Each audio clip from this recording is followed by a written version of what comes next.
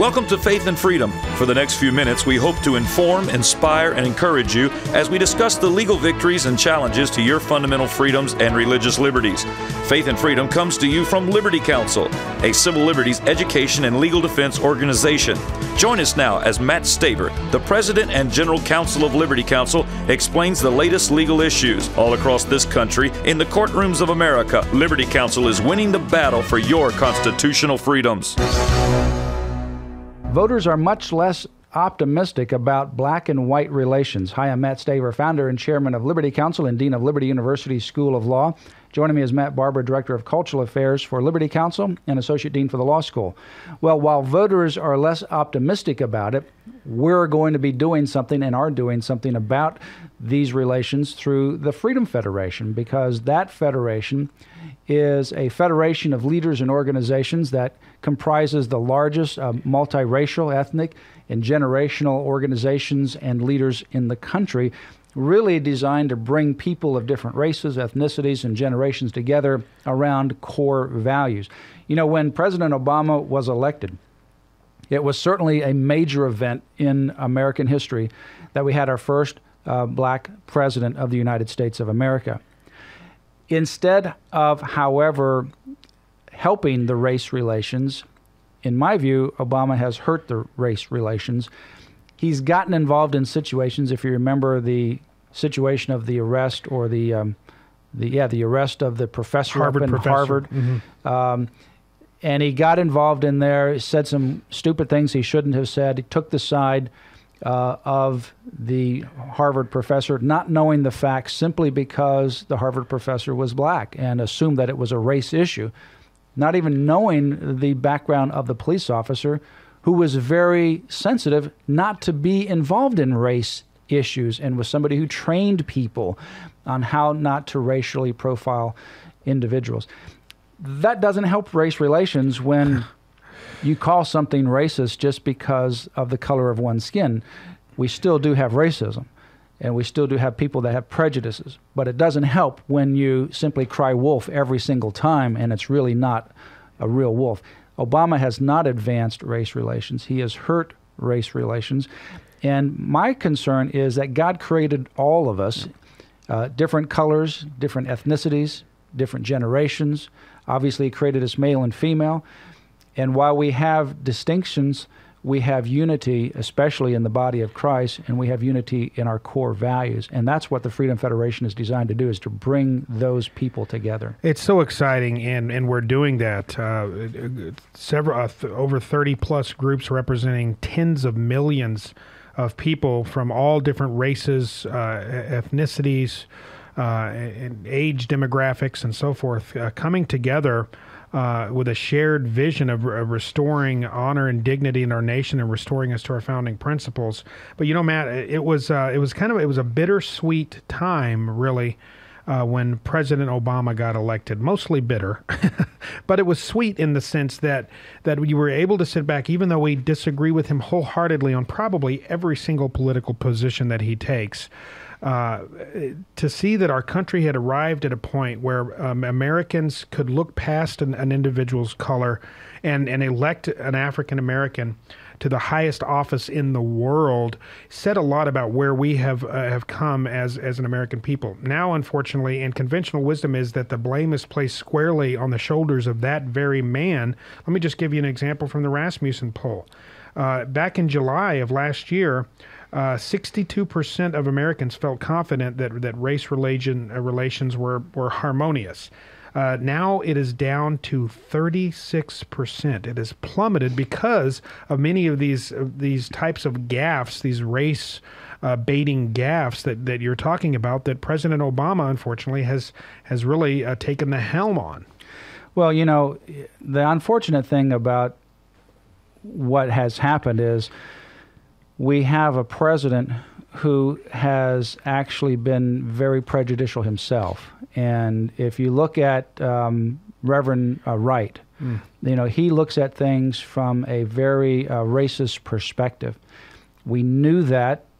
You don't uh, simply distance yourself from somebody like that and still be a member of his church for two decades, mm-hmm. have your children baptized uh, by this man and support this man and invite this man to be part of your political process. And call him you, your mentor. Yeah, if you don't agree with him. And so it's pretty obvious that Wright was so radical in his views on race and Obama was right behind him. And and so he has exacerbated the race issue rather than help the race issue. Now, what we're doing at the Freedom Federation, uh, we uh, began this back in 2008 and really launched it in 2009. We also have a website. It's called freedomfederation.org. You can go directly to that website at freedomfederation.org, or you can go to the Liberty Counsel website, lc.org. And in the left hand column, uh, there is a blue icon, a blue square section about the Freedom Federation Network. You can click on that and it'll go right to the Freedom Federation social networking, but you're still within the Liberty Counsel parameter.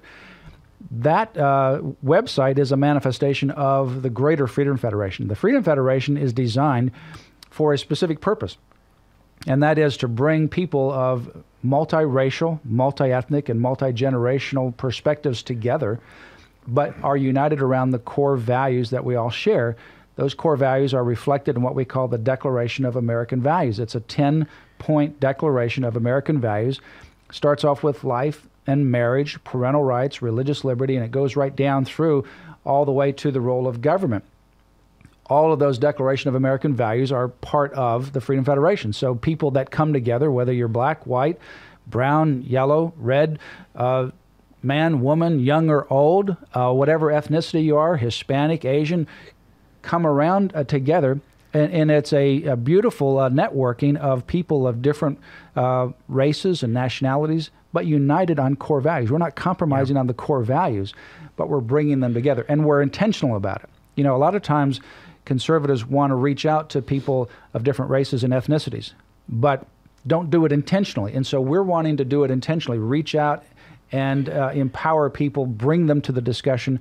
That's what the Freedom Federation is about. To learn more about it, you can go to the freedomfederation.org website or go to lc.org and click on that blue icon and become part of the social networking, uh, blogging, and events website. We'll talk about that in just a few moments.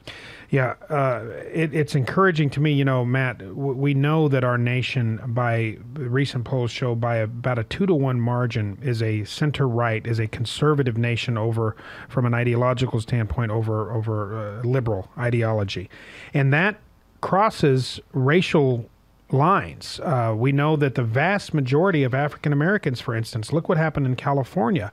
70% of, of African American voters voted in favor of Prop 8 in restoring the natural definition of, of marriage to the state of California.